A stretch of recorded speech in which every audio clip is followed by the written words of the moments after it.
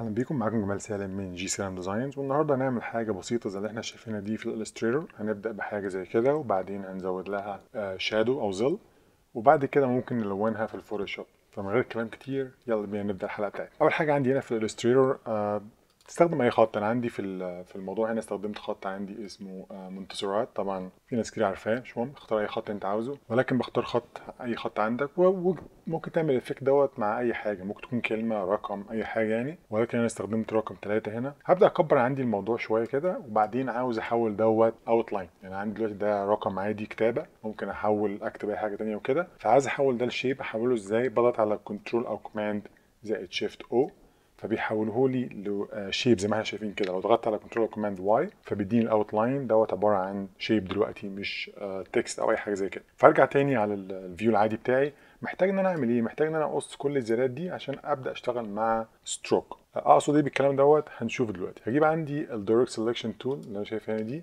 وبعدين هعلم على النقطة دي.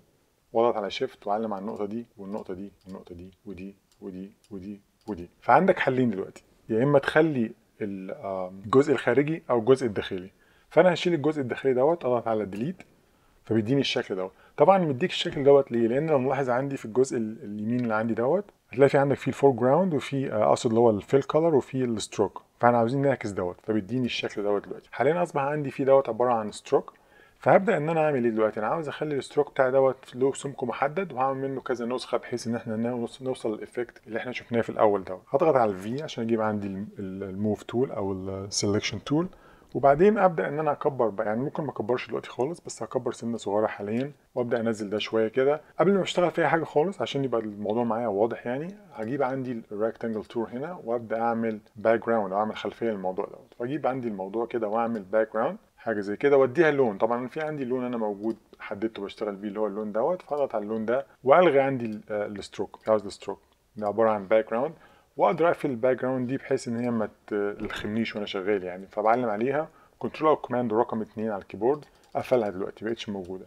هجيب عندي دوت control أو command shift وال bracket key على اليمين. أجيب ده لفوق. فأصبح عندي ده فوق دلوقتي. هو نفس اللون عشان كده أنتم مش شايفينه. خلينا أحوله للون أبيض أو حاجة زي كده بحيث نبقى شايفين إحنا بنعمل إيه. فأنا عندي دلوقتي رقم ثلاثة زي ما قلت عاوز أبدأ أعمل دوت أديله آه حجم stroke معين. حجم ال stroke بتلاقيه موجود عندك فوق هنا أو في القائمه دي زي ما إحنا عارفين. فهبدأ عندي مثلا أدي ال stroke دوت مثلا آه 29 point أو 29 point حاجة زي كده. أتأكد إن أنا معلم عليها الأول وبعدين آجي على 29 أضغط 29 tab ومحتاج أعمل حاجة تانية. أنا عاوز أخلي كل ده rounded cap مش عاوز حاجة تكون يعني حد أو edge زي كده. فباجي بضغط على ال rounded cap هنا. وباجي على دوت ال corners بخليها rounded corners فبيديني الشكل ده زي ما إحنا شايفين. فده حاليا عبارة عن 29 نقطة أو 29 point هبدأ أخد نسخة من دوت دلوقتي وأحطها خلف الشكل دوت. فأنا هعلم على دوت وبعدين أضغط على control أو command copy وبعدين control أو command B back دلوقتي بقت موجودة في الخلف في نسخة تانية. خلينا نديها لون تاني مؤقتا عشان تشوفوها أنتم وليكن لون أسود.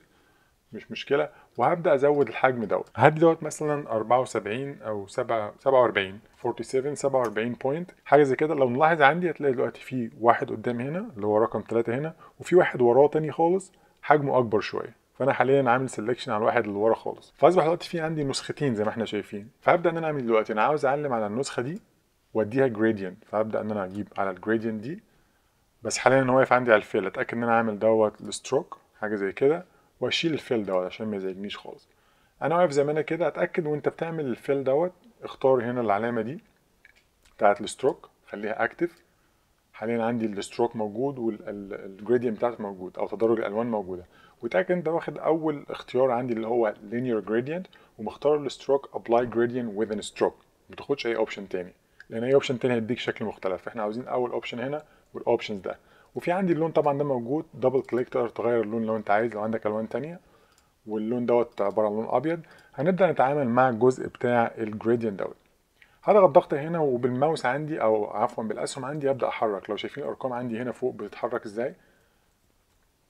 فهبدأ إن أحرك دوت مثلا أخليه على حاجة و70 وأنا بحرك هنا لاحظ معايا الجزء اللي تحت هتلاقي الاتجاه بتاع ال gradient بتاعك بيتحرك. طبعا تقدر تحرك بكذا حاجة. أنا بفضل الموضوع دوت لأن بقدر أتحكم فيه اللي هو خطوة خطوة أو كلام من ده. فأنا أكتفي بحاجة زي كده 75 أو 75 حاجة زي كده كويس مفيش مشكلة. وبعدين أسيب دوت دلوقتي وأبدأ أشتغل مع اللي وراه اللي في الخلف. هيكون عندك في دلوقتي في challenge إن أنت عاوز تجيب اللي في الخلف دوت. فأنا هضغط على دوت shift واضغط ضغطة 2 3 وأجيب دوت أديله نفس ال effect اضغط هنا كمان وأديله نفس ال effect عندي.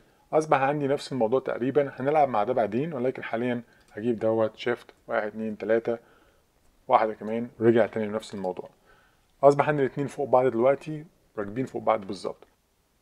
فدلوقتي عايز أعمل كذا نسخة من الاتنين دول. بعد ما حطيناهم فوق بعض بالظبط واخدين نفس ال effect لسه مفيش عندي أي حاجة واضحة خالص.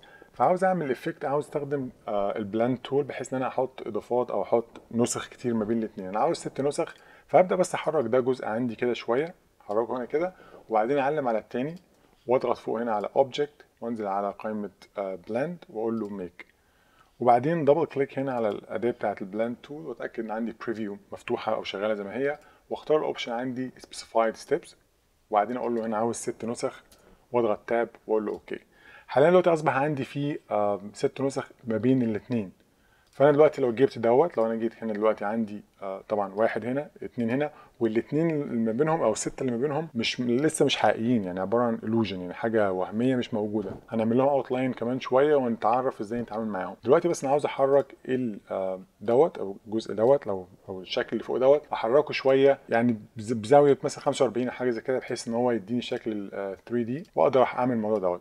فأنا وأنا واقف كده بعلم عليه زي ما أنا كده وأبدأ إن أحرك في أي شكل. أنا حددت على كل النقاط اللي عندي أو كل ال ال الأيقونات اللي موجودة عندي وأقدر إن أنا أحركه لغاية ما أوصل للشكل اللي أنا عاوزه. أنا معلم على كده وأقدر أعمل الموضوع ده الحاجة التانية برضو اللي تقدر تعملها مش هعملها دلوقتي بس تقدر لو أنت شغال مع ال blend mode. لو عندي مثلا حاجة زي كده خط زي ده مثلا.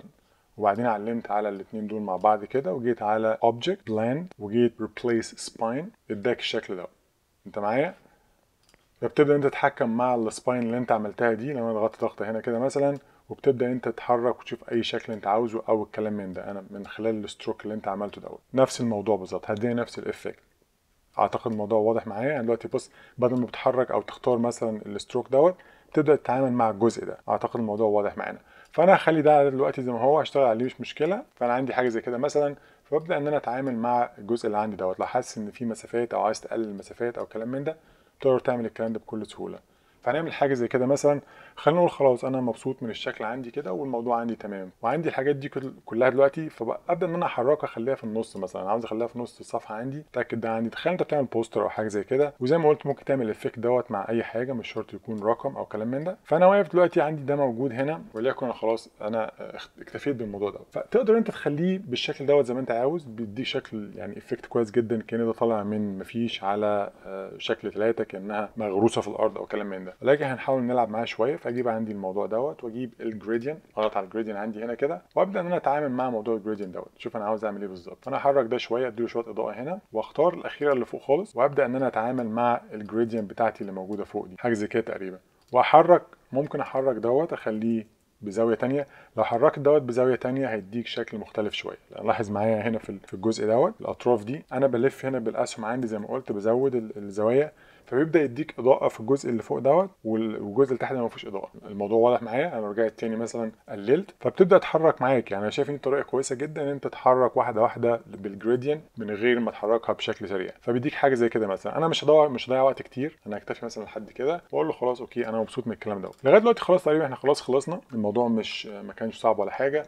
تاخد وقتك انت وتظبط الكلام دوت تشوف لو عندك أي فكرة تانية أو أي حاجة تانية أو كلام من ده. دلوقتي عاوز أعمل إيه دلوقتي؟ أنا عاوز أختار دوت وأجي على object واجي أقول له expand وبعدين اخلي كل حاجة متعلمه زي ما هي واقول له expand دلوقتي عمل لي إيه هو؟ اداني كل حاجة عبارة عن stroke تقدر تخليها stroke زي ما هي أو تقدر تعمل لها outline بمعنى إيه؟ دلوقتي أنا لو عملت right click ungroup تبدا تعملهم كلهم ungroup لغاية أما تنتهي خالص من ال groups اللي موجودة عندك أو المجموعات.